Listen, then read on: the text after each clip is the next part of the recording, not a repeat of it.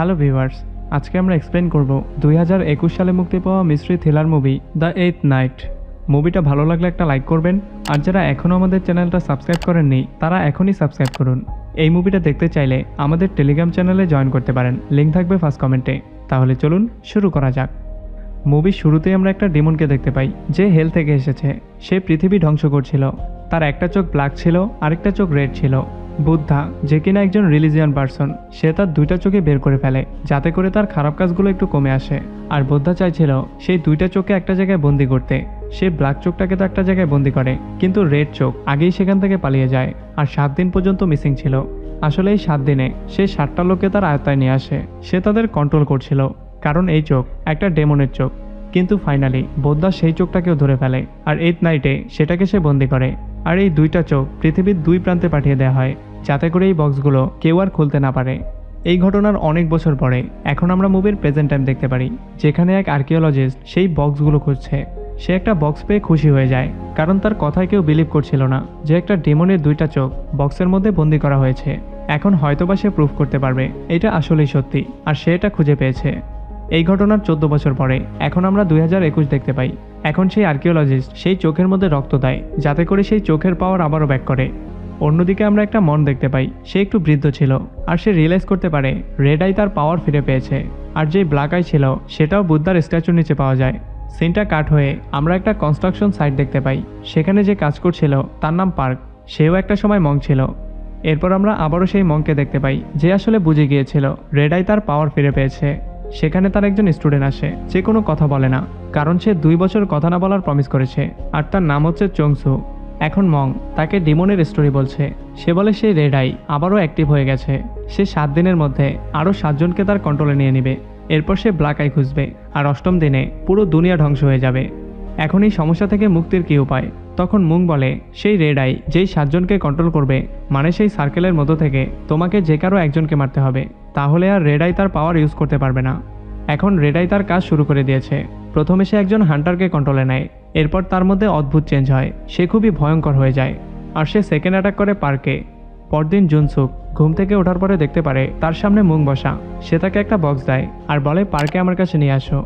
কিন্তু এটা করার আগেই সেই বুড়ো মং মারা যায়। পরদিন আমরা একটা হোটেলের সিন দেখতে পাই। আজকে তৃতীয় দিন। মানে এখন পর্যন্ত সেই রেড আই দুইজনকে তার কন্ট্রোলে নিয়ে নিয়েছে। এরপর এক ডিটেকটিভ সেই হোটেলের একটা রুমে আসে।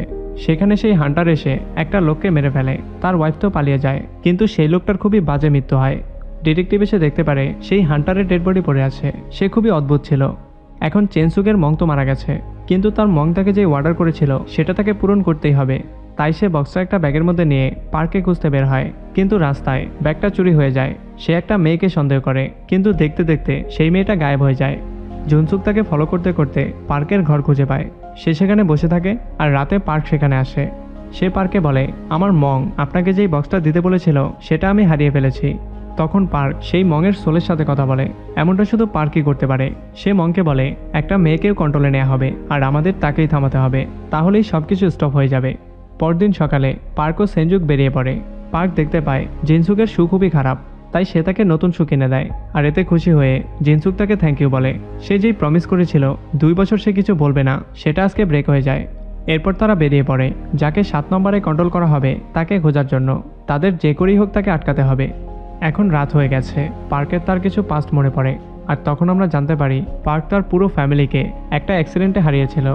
যেই মেয়েটা মেরেছিল, তার একটা বাচ্চা ছিল। পার্ক তার গলা টিপে ধরলেও সে জানতো, এটা ঠিক না, তাই সে ছেড়ে দেয়। এখন পার্কে সাত দিন হওয়ার আগেই সেই মেয়ের ঠিকানা বের করতে হবে। কারণ সাত নম্বর দিনে তাকে রেড আই কন্ট্রোলে নিয়ে নেবে। আর আজকে হচ্ছে ষষ্ঠ দিন।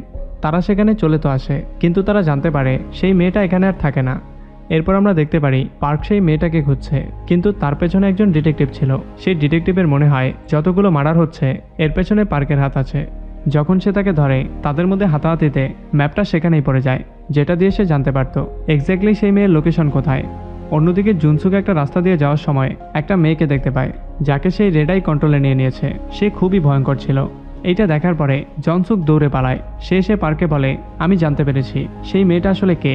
তখন পার্ক বলে, যেই মেয়েটাকে তুমি দেখতে পেরেছ, আমি তাকে মারতে যাচ্ছি। কিন্তু জুনসুক তার পেছু নাই সে সেই মেয়েটাকে বাঁচাতে চায়। ডিটেকটিভও পার্কের পেছনে ছিল। আর যখন সে দেখতে পারে পার্কের হাতে কুড়াল, তখন তার বিশ্বাস হয়ে যায়, সে সেই মেয়েটাকে মারতে যাচ্ছে। কিন্তু জুনসুক টাইমলি এসে মেয়েটাকে বাঁচিয়ে নেয়। একটু পরে পার্কও আসে, কিন্তু তার পেছনে পেছনে ডিটেকটিভও চলে আসে। তাদের মধ্যে অনেকক্ষণ ফাইট হয়।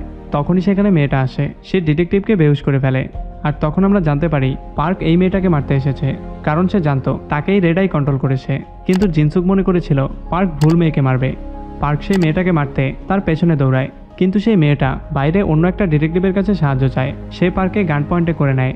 কিন্তু তখনই সেই মেয়েটা পেছন থেকে ডিটেকটিভকে অ্যাটাক করে। তার গাল দিয়ে একটা চোখ বের হয়, আর সেই রেডাই সেই ডিটেকটিভের মধ্যে চলে আসে। এখন এই ডিটেকটিভ খুবই ভয়ঙ্কর হয়ে গেছে, সে পার্কে অনেক মারে, কিন্তু পার্ক সেখান থেকে পালিয়ে যায়। আজকে সেভেন ডে, আর আজকে সেই রেডাই সেই মেয়েটাকে তার কন্ট্রোলে নেবে। এরপর পার্ক দৌড়ে একটা বাস স্ট্যান্ডে আসে, সে একটা টেম্পলে যাবে। সেখানে এইট নাইটের আগে তাকে যেভাবেই হোক যেতে হবে, কিন্তু তখনই সে প্রে করে সেই মঙের সোলকে নিয়ে আসে, আর সেই মং বলে, তুমি তোমার জীবন দিয়ে দিবে, কিন্তু তবুও পৃথিবীকে সেভ করবে। যে করেই হোক, তুমি সেই রেডাইকে আটকাবে। এরপর বাস চলে আসে আর পার্ক সেই টেম্পলের উদ্দেশ্যে বের হয়ে যায়। কিন্তু তার সাথে সেই ডিটেকটিভও সেখানে পৌঁছে যায়। এদিকে জিনসুক সেই মেয়েটাকে নিয়ে একটা জঙ্গলে আসে। সেখানে তারা একটু রেস্ট করে। একটু পরে পার্ক সেখানে চলে আসে, যেখানে জিনসুকও সেই মেয়েটা ছিল। কিন্তু তখনই জিনসুক নোটিস করে, সেখানে সেই ব্যাগটা পড়ে আসে যেটার মধ্যে সেই ব্ল্যাক আইস ছিল। সেই এটা চুরি করেছিল, কারণ সে দুটাকে একসাথে করতে চেয়েছিল। আর তারা জানতে পারে লাস্ট ভিকটিম হচ্ছে সেই ডিটেকটিভ যার মধ্যে সেই মেয়ের জন্য রেড আই চলে এসেছে। আর সেখানেই পার্ক তার মন্ত্র শুরু করে। কারণ সে জানতো, যেহেতু সে তার পিছু নিয়ে সেই টেম্পলে চলে গিয়েছিল, তাই সে এখানে আসতে পারবে। আর যখন সে এখানে আসবে, আমরা তাকে শেষ করে দেব। একটু পরে আমরা দেখতে পারি, সেই ডিটেকটিভ সেখানে চলে আসে। পার্ক সেই কুড়ালটা জিনসুককে দেয়, আর সে বলে, যখনই সে আমার সামনে আসবে, আর সে তার পাওয়ার আমার মধ্যে দিয়ে দেবে, তখনই তুমি এই কুড়াল দিয়ে আমাকে মেরে ফেলবে, আর এই খেলাটা এখানে শেষ হবে। কিন্তু সেই ডিটেকটিভ তার কাছে এসে বলে, আমি তোমাকে চাই না, আমি এমন কাউকে চাই, যে এই দুইটা আইসের প্রোটেকশন দিতে পারবে। এইটা শোনার পরে পার্ক একদমই শখ হয়ে যায়, কারণ তখন সে বুঝতে পারে, এই আইসের গার্ডিয়ান, সে তো নাই, না কোনো মং। এই আইসের গার্ডিয়ান হচ্ছে জেনসুক এরপর সেই ডিটেকটিভ তাকে একটা গান দেয়, বলে, নিজেকে শ্যুট করো। কিন্তু পার্ক নিজেকে শ্যুট না করে, সেই ডিটেকটিভকে শ্যুট করে। এতে সেই ডিটেকটিভ রাগ করে, আর সে পার্কের উপর অ্যাটাক করে। তখন পার্ক লাউডলি বলে জিনসুক এইটা আমি করেছি তোমাকে সেভ করার জন্য। যত দ্রুত সম্ভব তুমি এখান থেকে পালিয়ে যাও। কিন্তু সে পালানোর আগেই সেই ডিটেকটিভ তার পিছু নেয় আর পার্কও তাদের পিছু নেয় সেই ডিটেকটিভ জিনসুককে ধরে ফেলে, কিন্তু পার্ক তাকে সেই কুড়াল দিয়ে আহত করে। কিন্তু তখনই সেই ডিটেকটিভ চলে আসে, যার পার্কের উপরে ডাউট ছিল। সে এসে পার্কে শ্যুট করে, কারণ তার মনে হয়েছিল, পার্ক তার ফ্রেন্ডকে মারছে। সে তার ফ্রেন্ডের কাছে আসে, কিন্তু কুড়ালের আঘাতে তার ফ্রেন্ড সেখানেই মারা যায়, তার বডি অদ্ভুত হয়ে যায়। কিন্তু এগুলো হওয়ার আগে রেড আই চলে আসে জিনসুকের বডিতে। সে সেই ডিটেকটিভের কাছে আসে, আর তাকে ধরে গাছে মারে, আর গাছের একটা ডাল সেই ডিটেকটিভের পেটে ঢুকে যায়, আর সে সেখানেই মারা যায়।